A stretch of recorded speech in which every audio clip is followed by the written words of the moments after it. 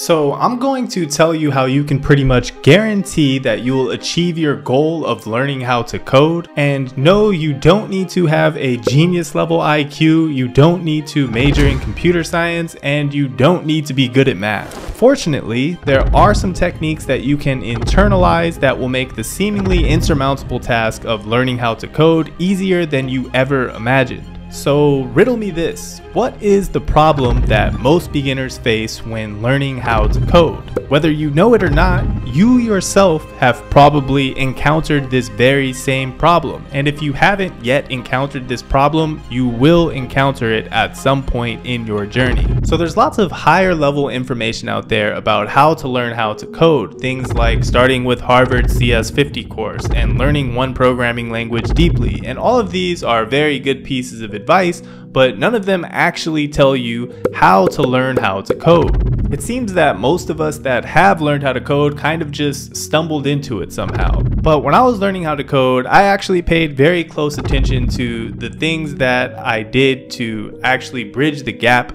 between understanding a programming language's syntax and actually being able to build things using that programming language. And if you've learned some programming language's syntax, you know that knowing syntax isn't even half of the puzzle. So obviously you're going to have to learn some syntax and you're going to have to pick a language. And I'm not going to spend too much time on this. I recommend that you start with Python. If you've already started with a different programming language, that's okay. But if you haven't yet started with any programming language, just start with Python. So in my opinion, you only need to know five things to actually start getting your hands dirty and writing code. And those things are variables, functions, for loops, arrays, and maps. And in the beginning, you don't need to know the details about the underlying data structures or performance or any of that. You really only need to learn how to use these things and essentially what they do in a very general sense. So the first piece of advice that I'm actually going to give you is don't go out and buy some textbook on a programming language. That's only going to do two things. It's going to discourage you and it's going to bore the crap out of you. These textbooks are written by experienced engineers and one thing about experienced engineers is that most of them don't remember what it was like to actually learn all of this stuff from zero. There will come a time when you can understand these types of resources, but the beginning stages most likely won't be that time. We're going to save a bunch of time by skipping buying an entire textbook on a programming language. So try to find an alternative resource to learning those five things. And if you really have a hard time finding a resource to learn those five things, just leave a comment in the comment section and I'll make a video on those five things specifically. Now, after learning these five things, you'll find that you're in limbo because although you've learned some syntax, you still won't have enough knowledge to compose those syntactical building blocks into something tangible. So around this time, people start to seek the aid of tutorials to help them to build things. Now at this point is where most beginners start to make the critical mistake. So I need to explain something that is very important to understand. A very large part of coding, a much larger part than understanding a programming language's syntax, is thinking. The syntax of a programming language is just a way to express your thoughts. So given a problem that we want to solve, what do we do? we think of a way to solve that problem. In fact, we can't even start coding until we know what we're going to do to solve that problem, right?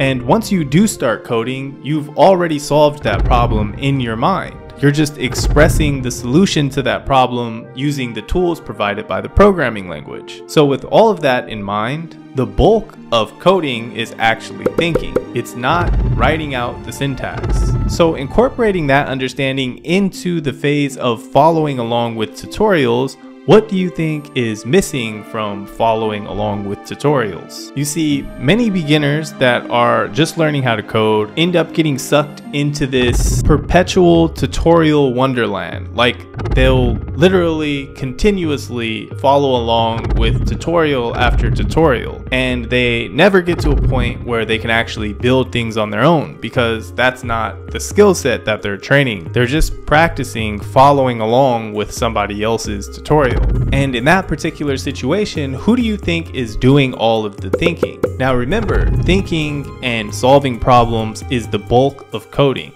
Actually writing the code is literally what you do after you've already solved the problem. So if you're continuously following along with tutorials, you're never actually training that muscle where you're actually thinking on your own and solving problems on your own.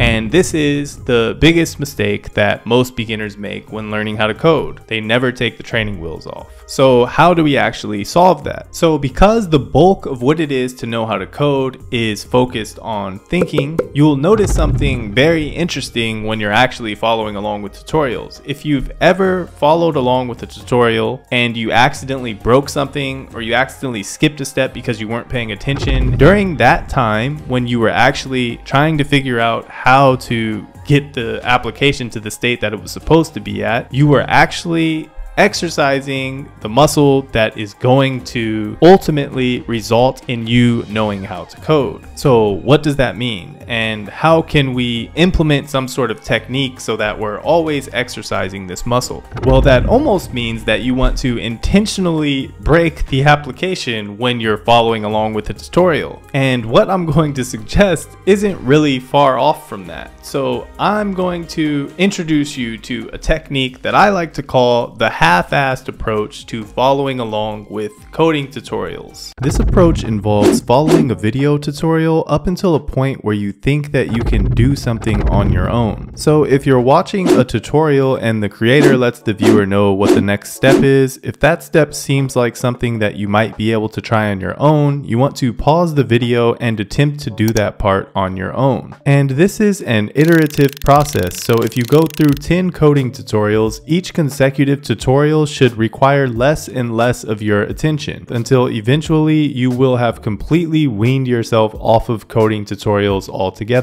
And also another thing, you shouldn't get discouraged if you actually break one of these applications when you're following along with these tutorials. You should actually celebrate because during those times when you're trying to debug and figure out what you broke while following along with this tutorial, you're going to learn so much that it's going to be ridiculous. Like it's going to feel like shit when you're doing it, but you're actually going to be learning a lot while going through that process. Now, the next technique is the most important because this technique is going to ensure that you don't get discouraged to the point that you want to quit, therefore guaranteeing that you will achieve your goal of learning how to code. So many people, myself included, when I first started, have a bunch of preconceived notions about learning how to code, most of which are false. And this is exacerbated by the spread of misinformation, mostly by people that even part of this community. You'll hear things like coding is easy and a toddler can learn how to code. And on the opposite end of the spectrum, you'll hear things like you need to be good at math to learn how to code and that coders have like genius level IQs. And all of these are false by the way, but whether you know it or not, these things are having an impact on your thoughts when learning how to code. For example, in my case, I kind of believed the thing about needing to be good at math to learn how to code. And that led me to assume that many things were much more difficult than they actually were. And that actually had a negative impact on me when I was learning how to code because there would be times where I would hit a roadblock because I couldn't understand something and I would assume that the reason that I couldn't understand that thing was because I didn't have the proper educational background. This would in turn lead me to just give up on understanding that particular thing, which almost resulted in me giving up on trying to learn how to code altogether. But once I did start to overcome more and more of these blocks, I started to notice a pattern. And that is that everything surrounding the topic of learning how to code is easier than you think. Now, that doesn't mean that a toddler can learn how to code, but that does mean that any obstacle that you encounter when learning how to code any roadblock or challenge is going to initially feel too difficult or out of reach for you. But this is a delusion. And once I started to realize this, roadblocks became less scary to me. I started to understand inherently that if I am persistent, I will come to understand that particular thing.